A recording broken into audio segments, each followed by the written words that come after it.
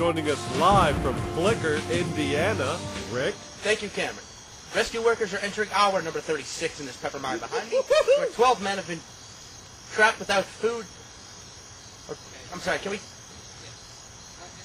and three, two and one. Thank you, Cameron. Rescue workers are entering hour number 36 in this pepper mine behind me, where 12 men have been trapped without food, water, or, uh, for up to 15... Now, what, what the fuck is that?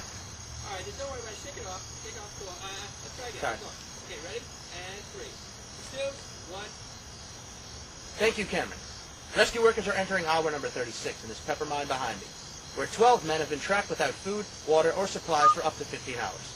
Authorities say there is no way of telling how long it will take rescue workers to get... How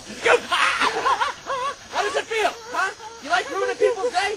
Showing your weenie, your penis? Huh? No, keep, no, Kenny, keep rolling. Kenny, keep rolling. Got a streaker here. We're going to teach this little prick a lesson. Huh? You like streaking? Here you go. Here you go. Why don't you streak in front of America? Because you're the goddamn news reporter now, you little shit. Hi.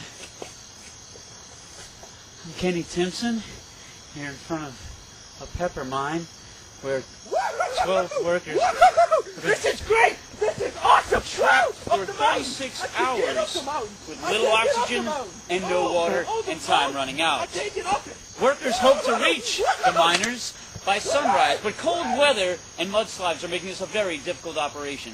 At this point, we encourage friends, family, and viewers to pray for a miracle. Studio 8 News, back to you, Cameron.